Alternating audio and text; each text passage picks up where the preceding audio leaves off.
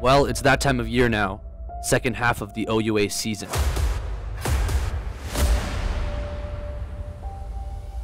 A heavyweight matchup in the OUA coming up, with McMaster taking on Ryerson.